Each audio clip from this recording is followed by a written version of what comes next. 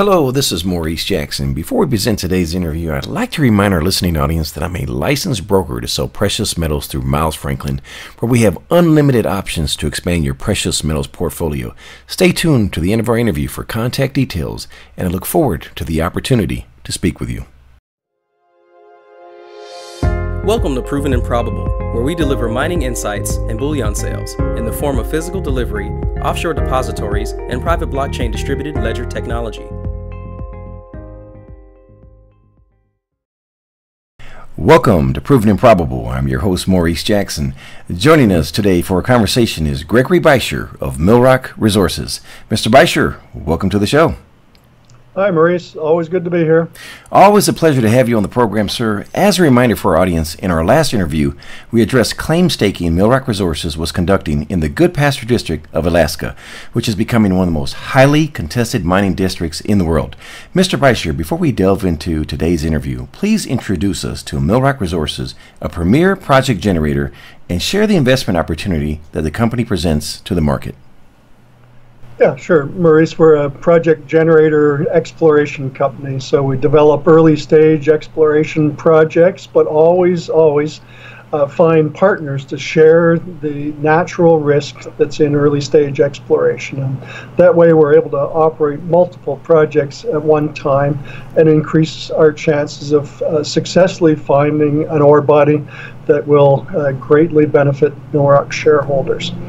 So, uh, the latest project that we've come up with is called uh, the Goodpaster Project. We reference the Goodpaster District of Alaska. Please provide us with some background on the district and share with us where Millrock has been strategically positioning itself in the district. Right. Well, Maurice, uh, you and I have had uh, several conversations about the Goodpaster District of Alaska. Right now, the best known and, and single mine uh, in the Goodpaster District is the Pogo gold mine. And it's a great mine. It produces several hundred thousand ounces of gold every year. And the concentration or the grade of gold is excellent. It's uh, close to half an ounce of gold for every ton that's being mined.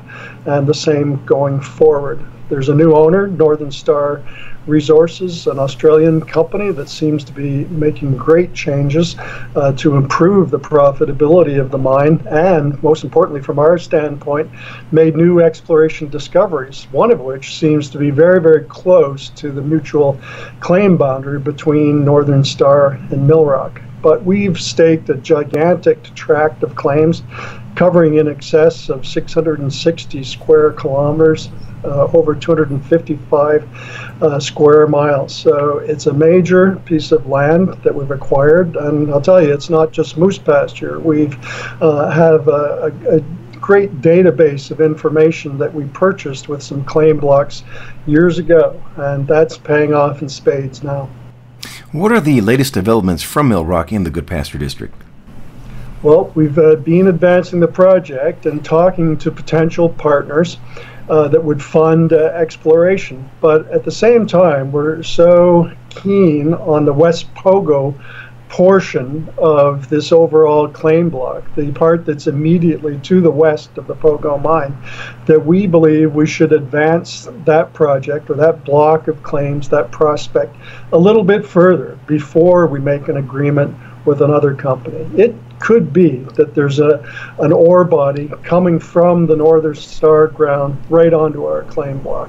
And so we don't want to give this one away prematurely or too early at too low a price. So to improve the value, we're going to put a little bit more of our own treasury in it. Uh, the thing is, we're going to have to raise money to do that work. Mr. Beischer, when the thesis makes sense, and the price is low, that's called a sale. What would you like to tell shareholders regarding the opportunity that is before us right now?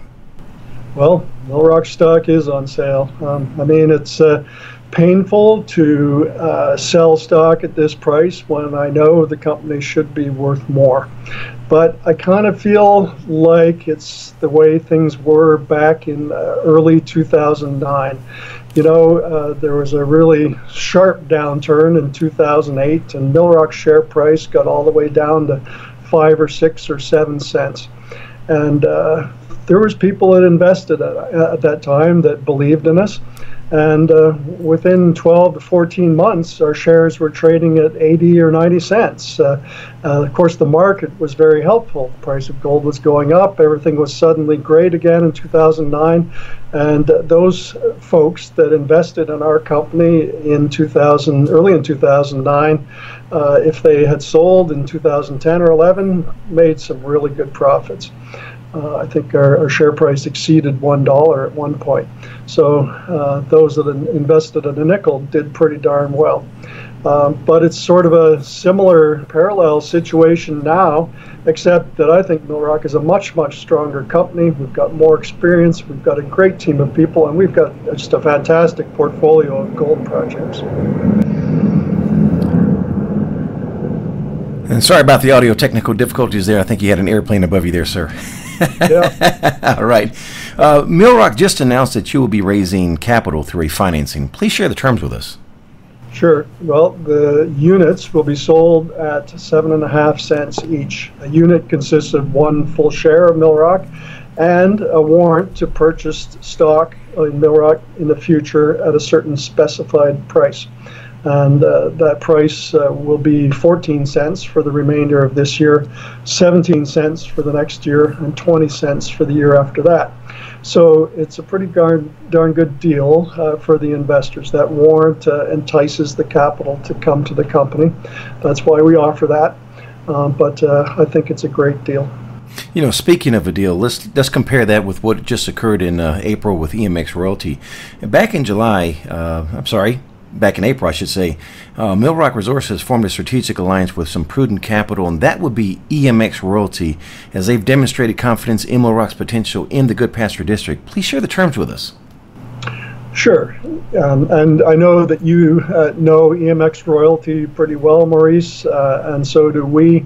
Uh, we admire that uh, team and the great success that they, they've had, and we hope to emulate that success and uh, they're a pretty darn good uh, technical team and, and uh, smart business people. And uh, I know you're actually a shareholder of EMX, uh, as am I personally.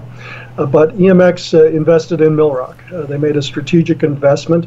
We came to them with the idea for the Goodpaster project, but we needed capital to execute on the staking of the giant claim block and so they provided that capital. In fact, they provided that capital at a premium to the market price of Millrock at 14 cents a share. But there was a catch, and that was that we had to uh, grant to EMX a modest royalty. It's not a big one, but it's uh, um, enough that uh, it uh, enticed them uh, to uh, pay the extra price for Millrock.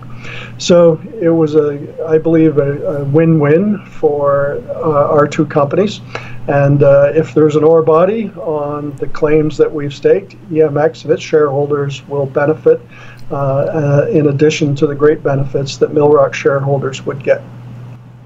And for the record, we participated in the last two financings with Millrock Resources, and we're going to make it a third, as we will be participating in full confidence in this round of financing with Millrock. Before we close, on a personal note, uh, Mr. Beischer, a number of shareholders have been inquiring about Melanie Henderson, a valued member of the Millrock team who's been undergoing some health concerns. Can you provide us with an update, sir? Well, uh, yes, uh, Melanie uh, did have uh, surgery uh, several weeks ago now. It was quite serious surgery, but I heard from her yesterday that she's getting stronger and stronger every day and it looks like uh, she's going to have uh, one of the best possible outcomes that, that could uh, be hoped for. So it might still be a little while before she's back in action, but we're all cheering for her, and uh, we're all looking forward to seeing her bright, smiling face again. And Maurice, uh, let me say, uh, you know, I uh, personally really appreciate uh, your continued confidence in Millrock, that you'll be investing uh, yet again. And I know that um, some of your followers might also like to participate in such a financing. And if they're an accredited investor, uh, we would be glad uh, to, to allocate a certain part of the uh, financing to your followers. And you're welcome to pass on my email information so that they can contact me if you like. We will certainly do that, sir. And for our audience members, uh, the email address is contact at provenandprobable.com. In the subject line, simply put in Millrock Resources. All right. And I just want to go back to, to Ms. Henderson. Um, Melanie, that was some welcome news that uh, Mr. Beischer just shared with us. And on behalf of all of us, we wish you a speedy recovery and you're in our hearts and prayers. Uh, Mr. Beischer, for someone listening that wants to get more information on Millrock Resources, please share the contact details. Sure. Well, um, you can mail, email Melanie, but uh, for now, the, the email would be forwarded to me and I'll, I'll be responding. And please share the website address then for us, sir. Sure. It's just uh, www.millrockresources.com. And as a reminder, Millrock Resources trades on the TSXV symbol MRO and on the OTCQX symbol MLRKF. Millrock Resources is a sponsor of Proven and Probable, and we are proud shareholders for the virtues conveyed in today's message.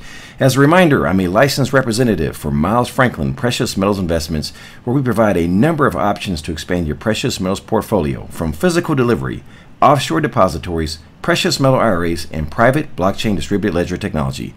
Call me directly at 855 505 1900.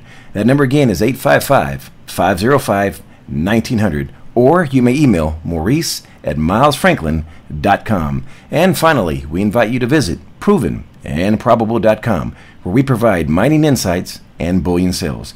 Gregory Beischer of Millrock Resources, thank you for joining us today on Proven and Probable.